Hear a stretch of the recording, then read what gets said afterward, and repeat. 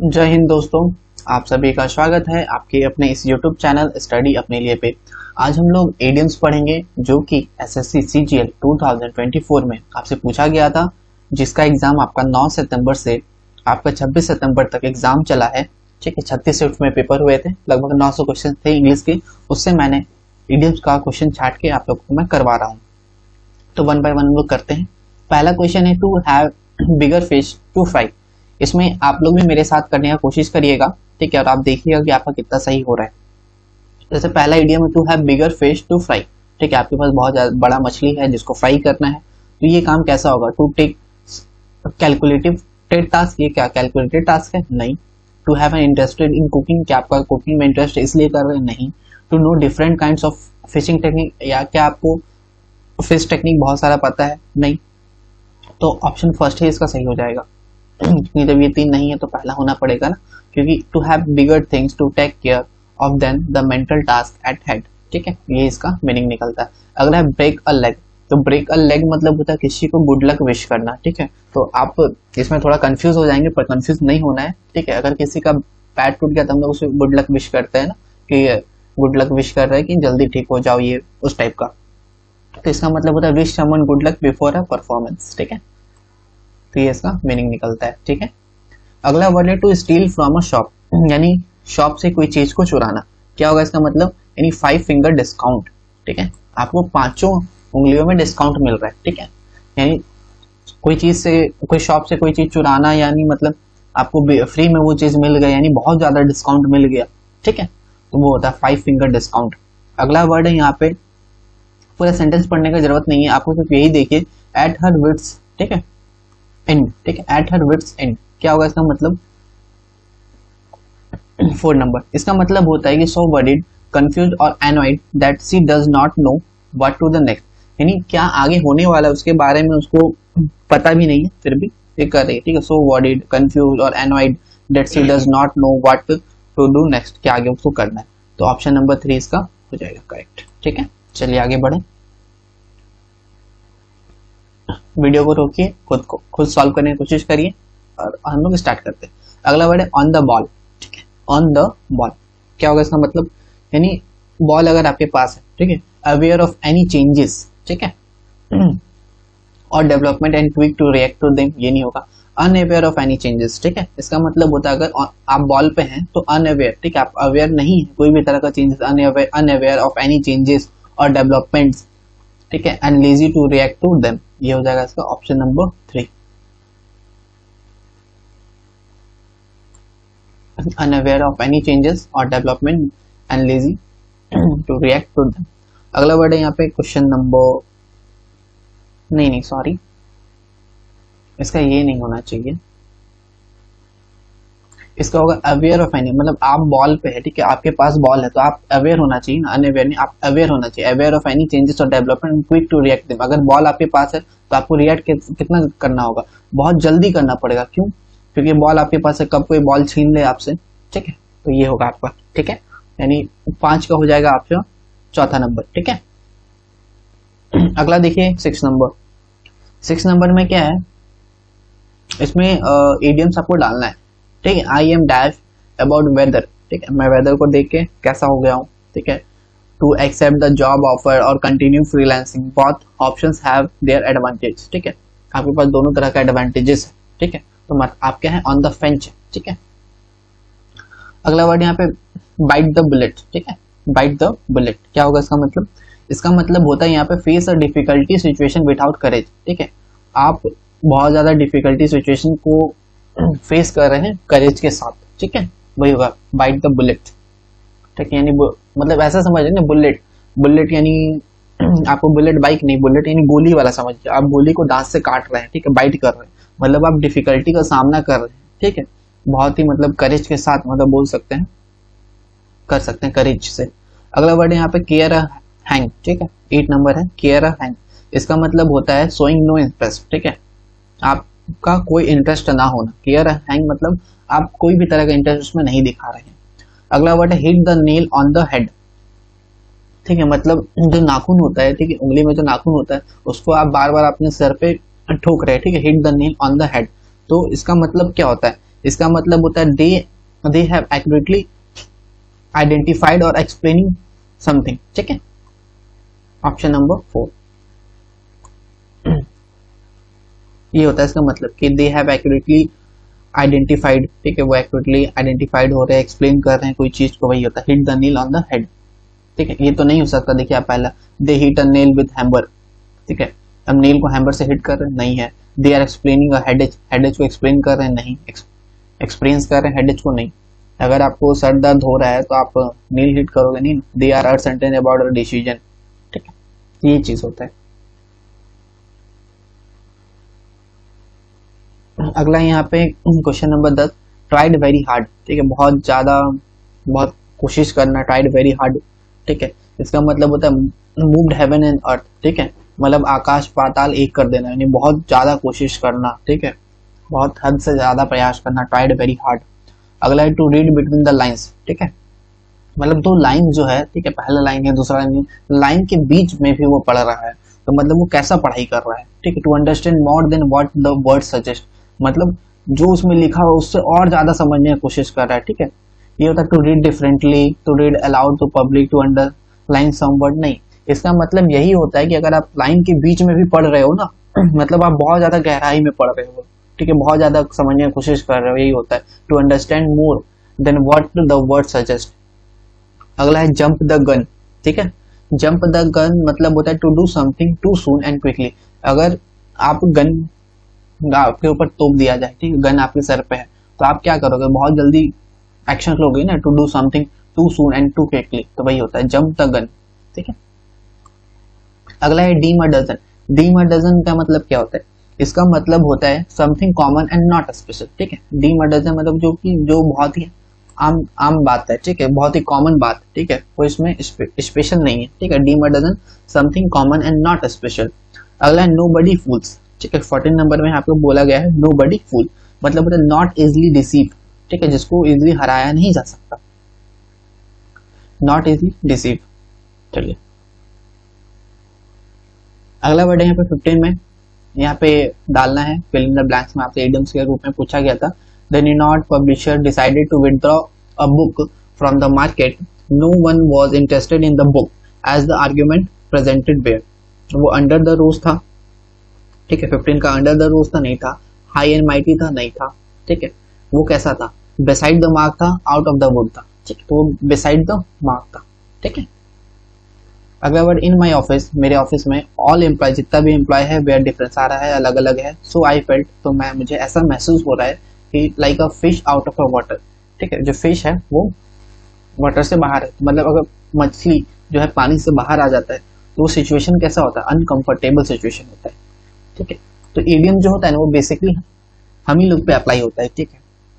तो आप लोग एडियम को खुद पे अप्लाई करके देखिए, क्या लगता है? तो ये फ़िश अगर पानी से बाहर आएगा तो सिचुएशन कैसा होगा? अनकंफर्टेबल होगा। तो इसका मतलब भी होता है अनकंफर्टेबल अगला है Anand personally believe the motto when life gives you lemons ठीक है? जब लाइफ तुम्हें लेमन्स देती है, ठीक है? तो मेक लेमन नेट ठीक है? लेमोनेट क्या होगा इसका मतलब बताइए?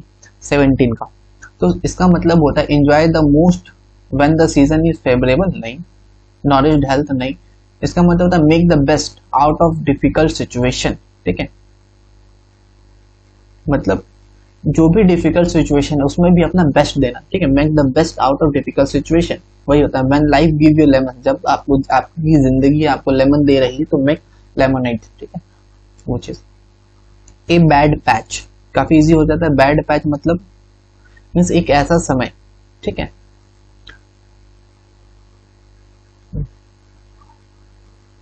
हाँ ये ये हो जाएगा फोर नंबर एक, एक ऐसा समय जिसमें जो पर्सन है बहुत ज़्यादा ट्रबल डिफिकल्टी का सामना करते हैं। पर्सन वो टेक्स अ डिफ़िकल्ट नहीं इसका वही होगा फ़ोन नंबर ठीक है मीन एक ऐसा समय a person of time a period of time sorry a period of time when a person faces lot of troubles means एक ऐसा समय जहाँ पे पर्सन को बहुत ज़्यादा कठिनाइयों को सामना करना पड़ता है उसको कहते हैं बेड पैच ठीक है बैड पैच अगला है turn the deaf ear to ठीक है? यानी आप अनसुना कर देना कोई चीज़ को मतलब आप डीप यानी बहरा और कान, ठीक मतलब किसी को अनसुना कर देना तो ये इसका मतलब निकलता है। उससे रिलेटेड कौन है? एडियम्स देखिए, ठीक है? नाइनटीन का। यानी डिसरिगार्ड कर देना किसी चीज़ को, ठीक है? रिबुक मतलब तो इसका तो मतलब डांटना होता है, ठीक है? तो यही होता है डिसरिगार्ड कर देना। टर्न डिफ ईयर मतलब अनसुना करना, यानी किसी को डिसरिगार्ड कर देना, वो चीज़ होता है।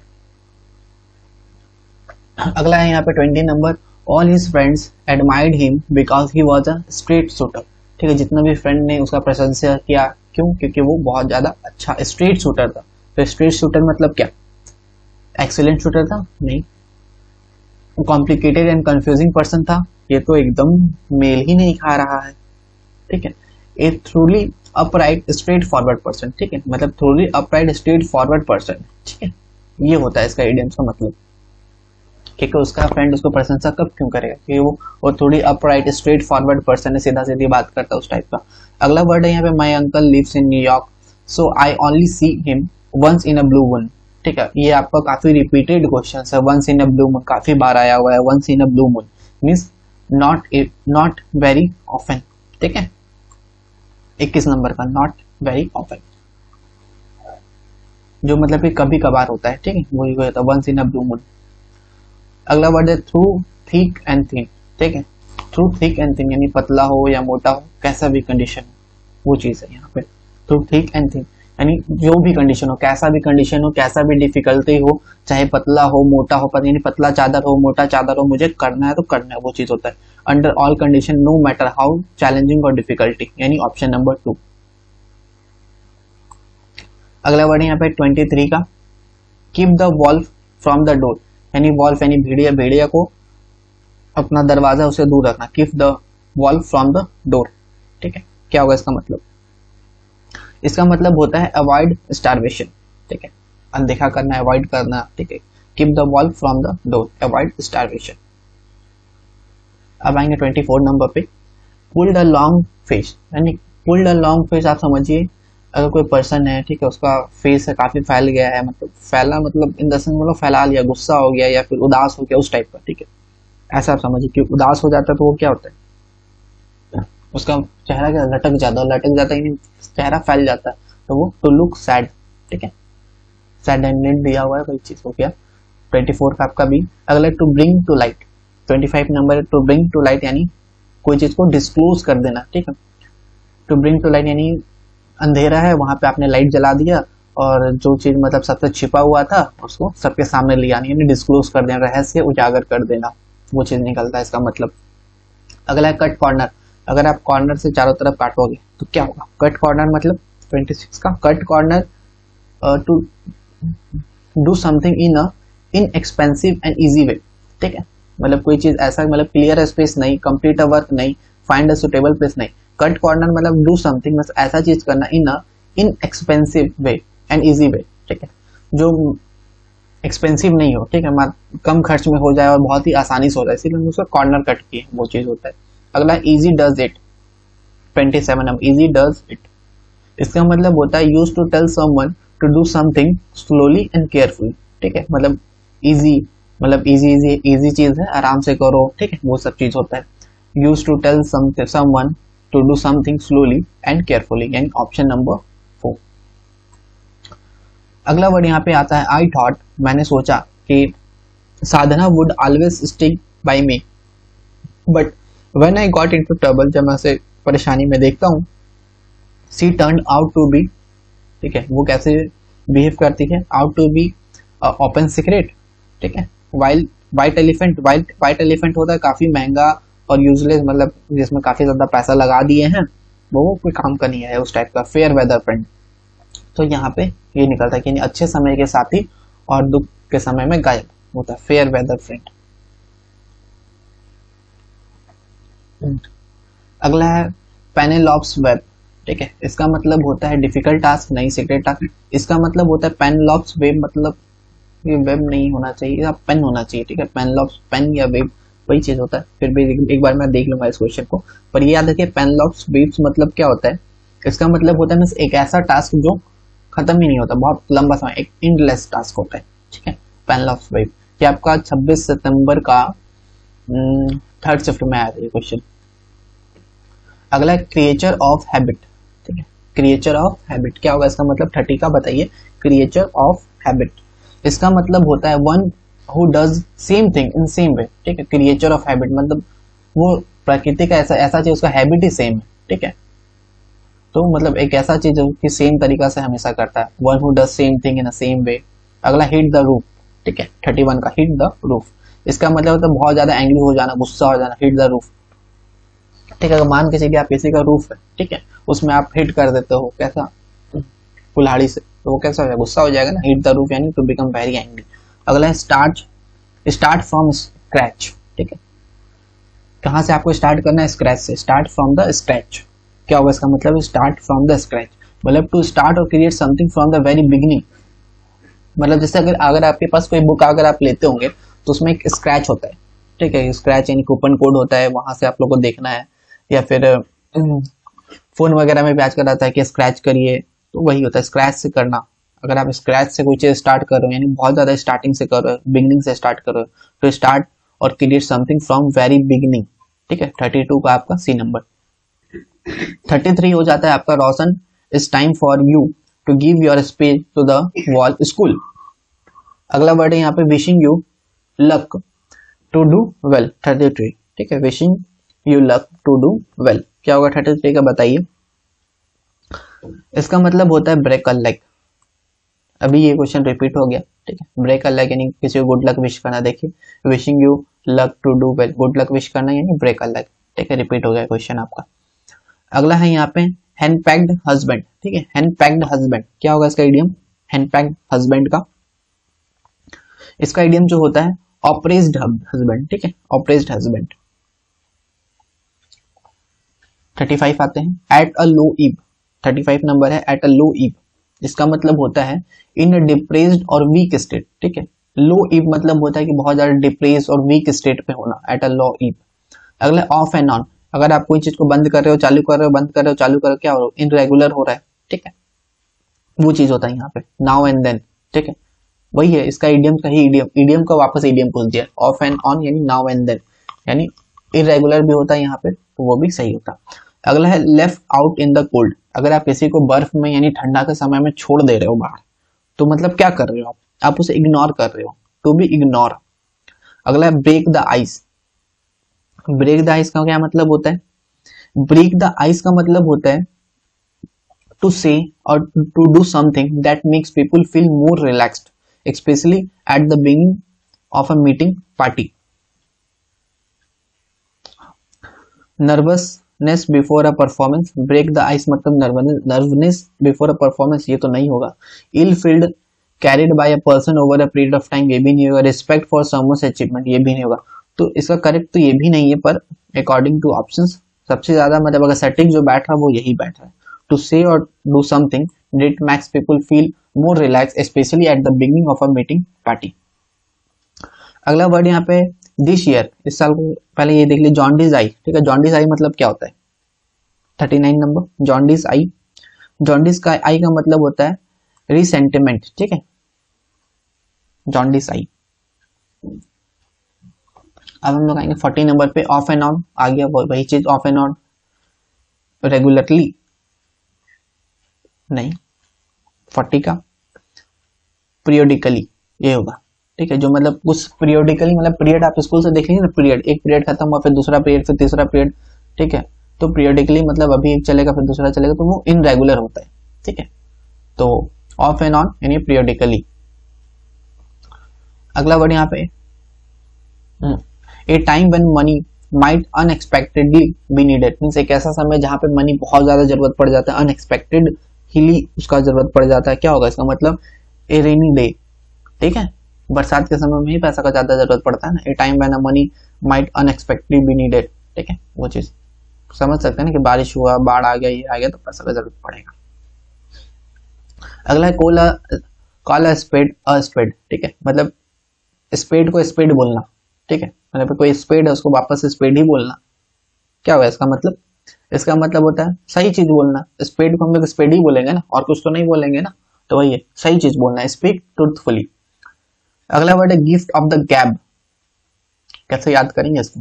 गैब यानी गब्बर। समझिए गिफ्ट ऑफ़ द गैब गैब यानी गब्बर। गब्बर को, गब्बर कैसा बोलता था? कितने आदमी थे सांबा कैसा लगता है सुनने में? काफ़ी अच्छा लगता है ना?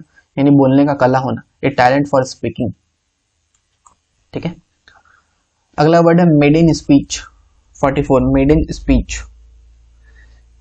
इसका मतलब होता है पहला स्पीच फ़र्स्ट स्पीच ठीक है? मेड इन स्पीच मतलब पहला स्पीच अगला वर्ड है यहाँ पे फोर्टी फाइव आफ्टर मंथ कुछ समय के बाद after month of dedication and effort I finally completed the marathon बहुत ही समय के बाद मैंने मैराथन को कंप्लीट किया. I can really dash for this accomplishment 45 इसका मतलब होता है pat myself on the back ये इसका बैठ रहा है यहाँ पे. Pat myself on the back चलिए आगे बढ़ते हैं. 46 given by somebody who is directly involve and therefore likely to be accurate ठीक है? गिवेन बाई समबडी ठीक है? किसी चीज़, किसी के द्वारा देना given by somebody who is directly involve जो कि डायरेक्टली इन्वॉल्व है and therefore likely to be accurate और वो एक्यूरेट भी है। इसका मतलब होता है straight from the horse mouth ठीक है? मतलब सीधा घोड़े के मुँह से ही सुनना। जैसे घोड़ा होता है ना? जैसे इसका एक एडियम्स है, जैसे मैं बताऊँ तो जो पर्सन डायरेक्टली इन्वॉल्व है, ठीक है? कोई मतलब हो रहा था, जैसे पॉलिटिक्स पॉलिटिक्स नहीं लेते हैं, जैसे कुछ भी हो रहा था मीटिंग हो रहा था पार्टी हो रहा था, ठीक है? वहाँ पे घोड़ा का रेस चल रहा था, ठीक है? और घोड़ा लोगों के सामने ही लोग बात कर रहे थे कि इस घोड़े पे पैसा लगाना, इस घोड़े पे पैसा लगाना इतना लगेगा। तो मैंने सीधा घोड़े से ही पूछ लिया, ठीक है? या फिर वहाँ पे जो आदमी था, उस आदमी से ही मैंने डायरेक्ट पूछ लिया, उसके माउथ से ही पता चला। तो वही वही होता है given given by somebody who is directly involve and therefore likely to be accurate and straight from the horse mouth अगला वर्ड है ट्रीटेड हर विथ कंटेम्प्ट ठीक है? उसको ट्रीट करना कैसा? कंटेम्प्ट के जैसा ट्रीट करना, ठीक इसका मतलब होता है turn up their nose at her अगला वर्ड है लेट द डस्ट सेटल ठीक है? लेट द डस्ट डस्ट को आप सेटल करना लेट द डस्ट सेटल यानी to wait for a situation to become clear और सर्टेन ठीक है? मीन सही समय का इंतज़ार करना जहाँ पे सारा सिचुएशन जो हो वो क्लियर हो जाए और सर्टेन हो जाए, एक जैसा हो जाए।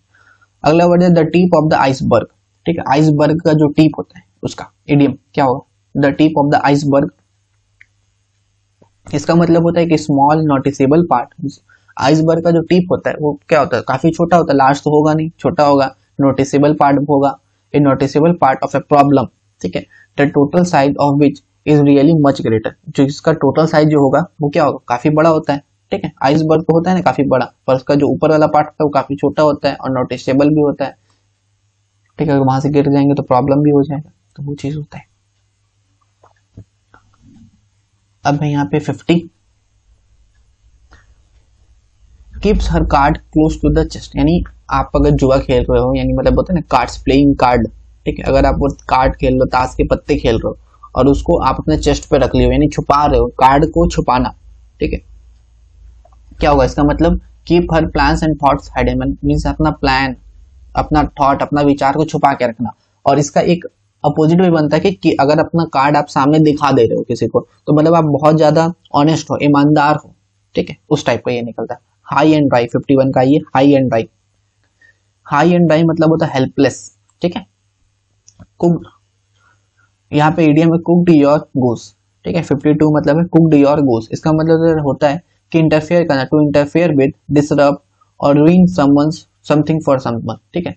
और कोई चीज़ को बर्बाद कर देना किसी और के लिए, वही चीज़ है। टू इंटरफेयर विद डिसरप्ट और रूइन समथिंग फॉर समवन अगला on cloud nine 53 on cloud nine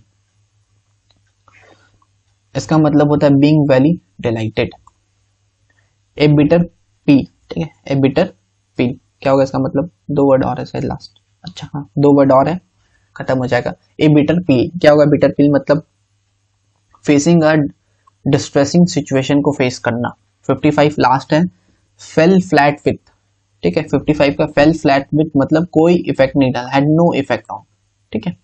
The entire speech of the revivalist ठीक है? Revivalist fell flat with the crowd that was present man कोई इफ़ेक्ट ही नहीं डाला उसका speech का हैड नो इफ़ेक्ट ऑन इसका आंसर भी यहाँ नीचे दिया हुआ है, आप लोग देख सकते हैं। ठीक है? तो इसी के साथ ये वीडियो एडियम्स वाला कंप्लीट होता है 55 आपने साइनो का वीडियो नहीं देखा, आप साइनो वाला भी देख लीजिए। वो भी आपको इसी चैनल पे पढ़ा होगा एडियम्स वगैरह। ठीक है? वन वर्ड सीएचएसएल का भी मैंने पी करवाया है तो आप लोग सारा देख सकते हैं। वीडियो अच्छा लगा तो वीडियो को लाइक करिए, अपने दोस्तों के साथ भी शेयर करें। एंड बाय बाय मिलते हैं नेक्स्ट वीडियो पे।